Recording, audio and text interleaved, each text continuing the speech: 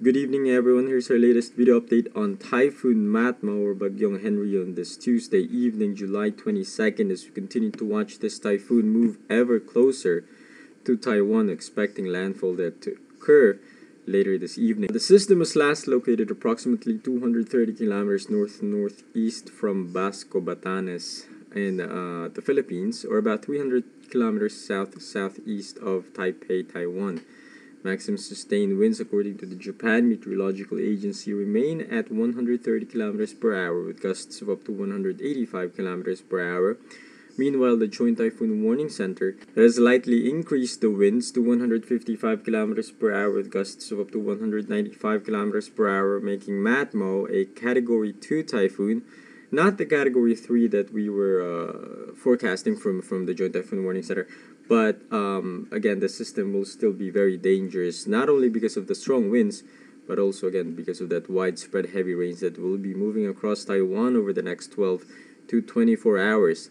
Uh, the system uh, Matmo is currently moving north northwestward at 25 kilometers per hour, and again expecting that landfall to occur in about six hours out here in uh, uh central uh, portions of Taiwan. And looking at the latest infrared image loop, and again, you can see the system becoming more uh, symmetrical and more defined over the past 24 hours. Remember, yesterday in our in our last video update, we were talking about how the system was struggling with wind shear, and how it never really able to was never really able to uh, to improve that core and organization. However, again, as it moved closer to Taiwan uh, this afternoon, you can see the eye actually beginning to take shape there.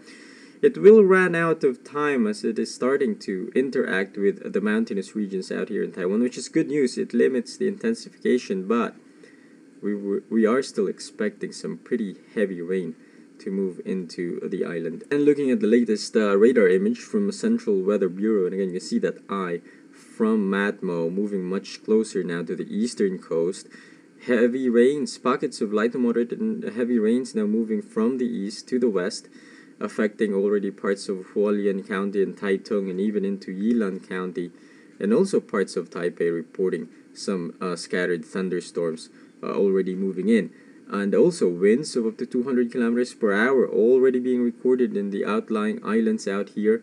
Expect those winds, rains, and the entire the, the overall weather conditions to rapidly deteriorate over the next 12 to 24 hours. Again, heavy rains will be encompassing much of Taiwan over the next 24 hours, you're expecting some pretty torrential rainfall amounts to fall out in that region. Now, as far as the rainfall forecast is concerned, you can see again, keep using this model, COAMPS high resolution model, but it's been doing a pretty good job in the rainfall accumulations uh, lately. And again, you can see this model uh, pretty much showing widespread 300 to as much as 500 millimeters of rainfall across Taiwan. And even you can see that red uh, pockets of red shading there. That translates to 800 to as much as 1,000 millimeters of rainfall, uh, especially along the central and northern portions of Taiwan. And that uh, figure isn't really that oh, su su surprising. We've seen those rainfall amounts 1,000 millimeters before in past typhoons as they moved across the island.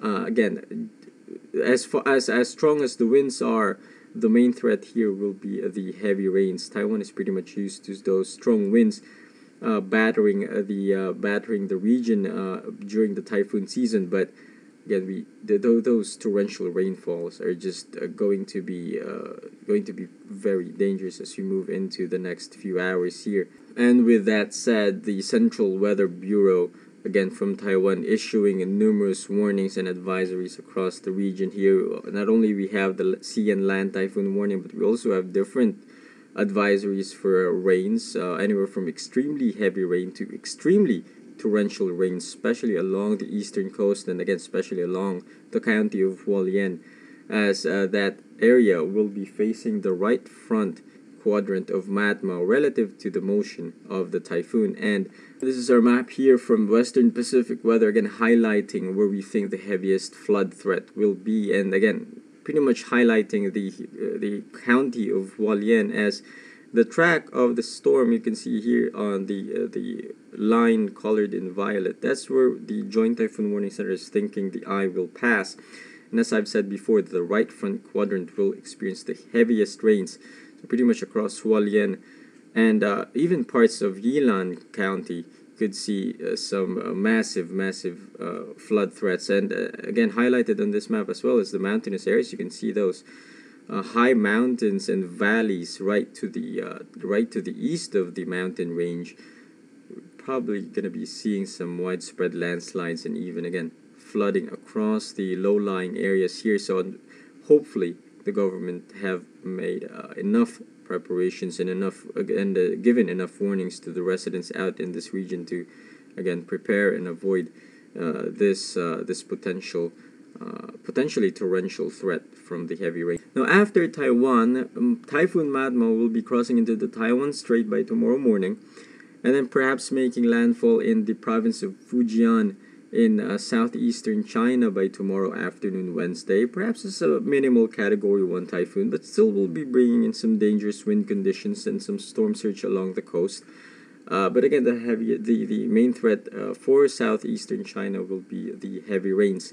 And as we expect, the system will rapidly weaken as it moved in further inland moving northward and perhaps recurving to the northeast as you move into uh, Thursday and Friday, passing well west, uh, well west of Shanghai, but will still likely bringing uh, bring some light to moderate rain showers in the region there. that was the forecast from the Joint Typhoon Warning Center, and here is the latest from the Japan Meteorological Agency, and again showing you that track across Taiwan and into southeastern China, perhaps in the province of Fujian by tomorrow afternoon, and then moving northward across, again, uh, move, passing uh, west of Shanghai and uh, moving north northeastward and perhaps again dissipating as a tropical depression as you move into the latter part of this week. But the threat of heavy rains will not only uh, be felt across Taiwan, but again also parts of eastern China. And that pretty much concludes our video update this evening. If you have any reports, uh, from your area, please share them with us. If you have pictures or videos that you want to share, please do so on our website and also on our Facebook page. And as always, please heed the warnings and forecasts of your local officials and stay safe out there. And as always, keep updated on our websites and on our Facebook page. Uh, subscribe on our YouTube channel. And as always, stay safe. See you in our next update. Good night.